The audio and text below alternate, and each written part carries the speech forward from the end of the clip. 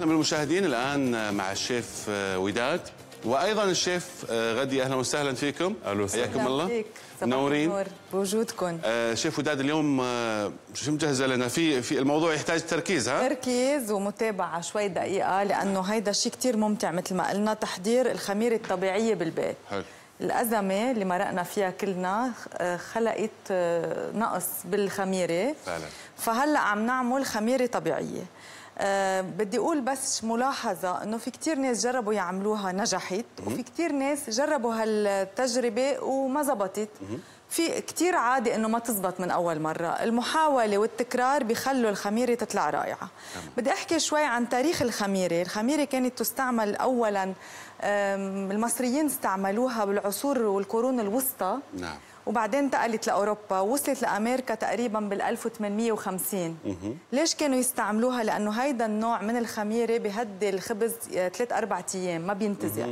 وهيدي خميرة كثير صحية مقارنة بالخميرة الكيميائية يلي الصناعية. يلي بنشتريها من السوق. نعم. كيف بنحضر الخميرة الطبيعية؟ أنا جبت معي هاي الخميرة صار لي عم بشتغل عليها تقريبا ثلاث شهور.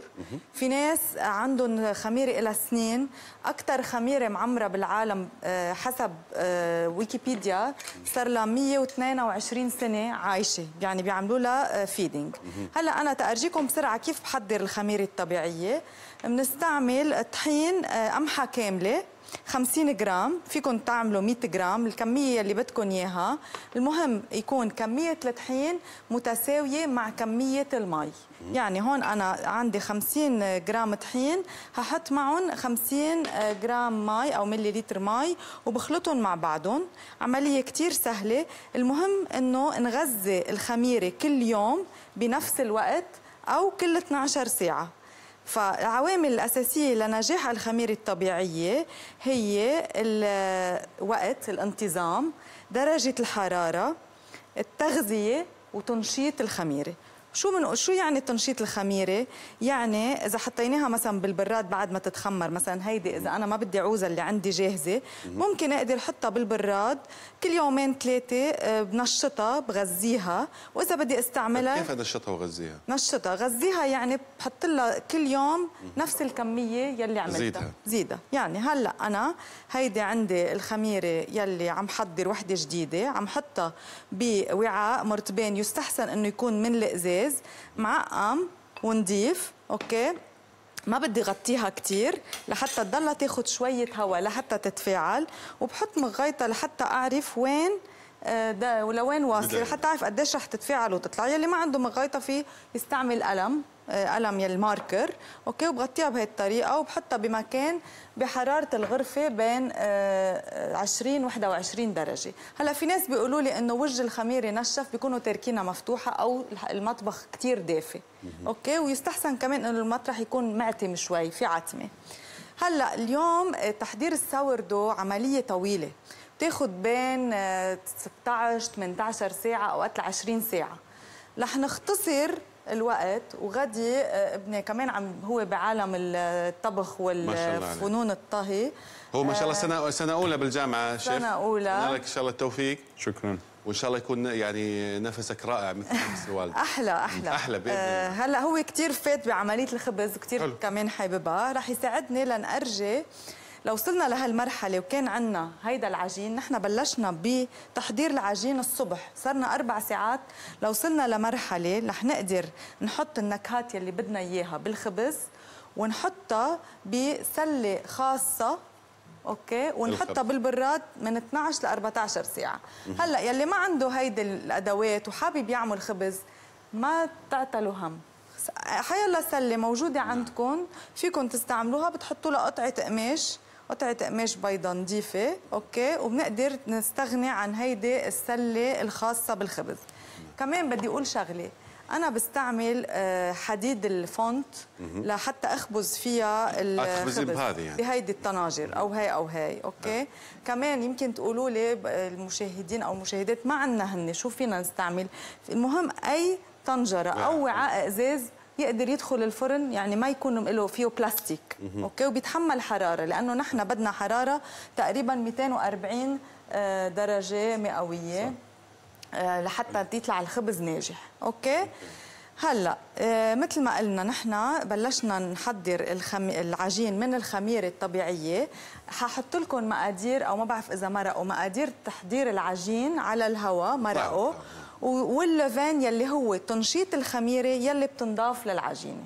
هلا يلي عنده أي سؤال العجينه الأساسية هذه كمان محطوط عليها خميرة. هيدي محطوط فيها خميرة. هي حطينا فيها خميرة حطينا فيها شيء اسمه ال levain يلي هو تنشيط الخميرة يلي هو الخميرة الطبيعية مع طحين إضافي ومي. نشطناهم تقريبا 3 4 ساعات وضفناهم للطحين والمي وشوية ملح وصار عندنا هيدا العجين. تمام. هلا هيدا العجين من تقريبا ثلث ساعة حطيناه هون على ال counter لينشف شوي ونقدر نشتغل فيه.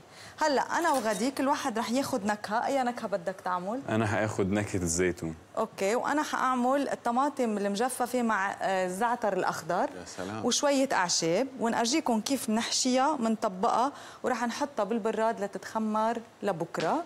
ونرجيكم بالوصلة الثانية كيف تطلع عنا النتيجة. نعم. okay؟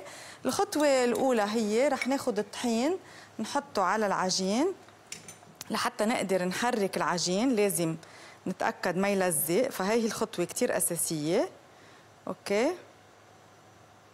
وهلأ رح نبلش آه نحرك بهي الطريقة لنقدر نشيل العجين عن ال counter وما يلزق. okay؟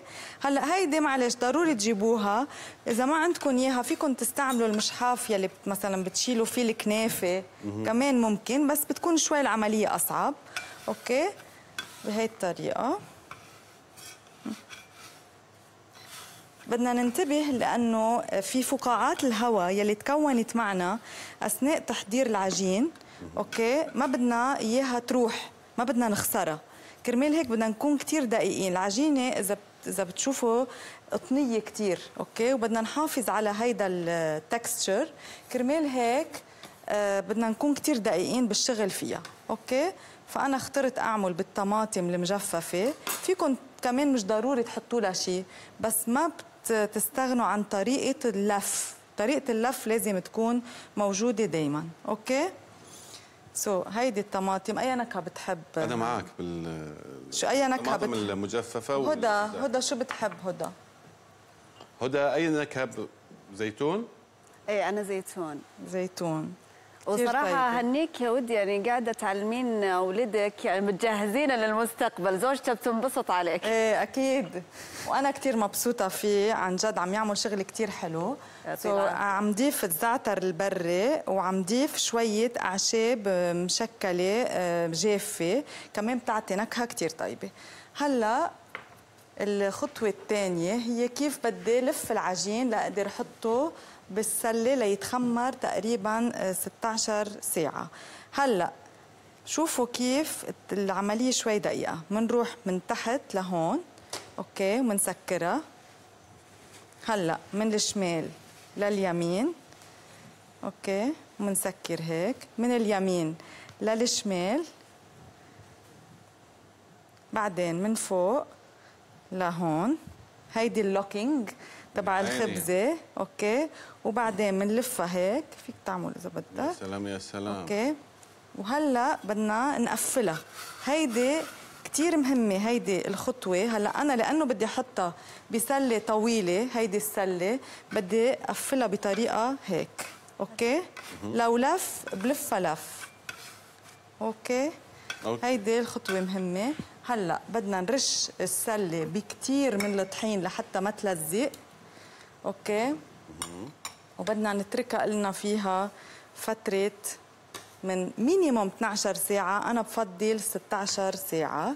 بس بدنا ننتبه إنه ما نعمل over proofing يعني نخليها بالبراد فترة أطول. كأنه كل شيء زايد بصير خي ناقص. يعني ما لازم نخليها كثير ولازم براد. لازم برا. فيك تساعدني بس بالرش لنكسب الوقت. لازم بالبراد. إيه عملية التخمير بتكون كثير أفضل. okay وشوي هون. حلو والله. thank you طيب هلا بدنا نحطها بالسلة مثل ال baby يعني ها. okay وبدنا نقفلها. يلا هيك منتبه لل baby exactly بنقفلها هيك. okay. يلا. وهلا هيدي عجينتنا صارت جاهزة لتدخل على الفرن.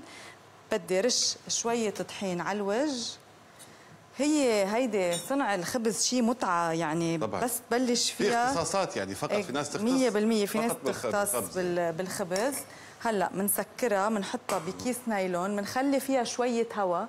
لتقدر تتنفس وما تلزق النايلون عليها وبندخلها على البراد مثل ما قلنا وبنخبز ليش واحدة بكرة. استخدمتوا فيها قماش وواحدة لا عادي الوضع آه، طبيعي؟ نحن عم نأرجي إنه إذا ما عندنا هيدي السلة آه، okay، okay. نقدر نستعمل سلة عادية مع القماش تمام أوكي. بثلاجة من 12 إلى من آه، 12 ل 16 ساعة maximum. من نخبزها بوحدة من هودي الطناجر. هيدي لازم تكون كتير حامية. يعني بندخلها على الفرن قديش بندخلها؟ بندخلها 25 دقيقة مع الغطاء عليها. و20 دقيقة بلا الغطاء آه وكم درجة الحرارة الفرن؟ آه، 270 بعدين نرجع. بعدين بتوطي الحرارة ل 220 بعد ما تكشف. حلو.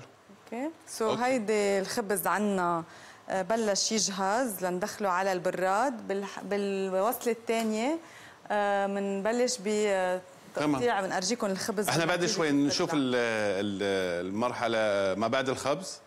وإحنا جدا سعيدين آه، بتواجدك كمان. غادي نورتنا اليوم حبيبي شكراً. أتمنى لك ان شاء الله التوفيق وإن شاء الله تكون من أحسن chefs يعني بال- بالشرق شكراً. الأوسط والعالم إن شاء شكراً. الله شكرا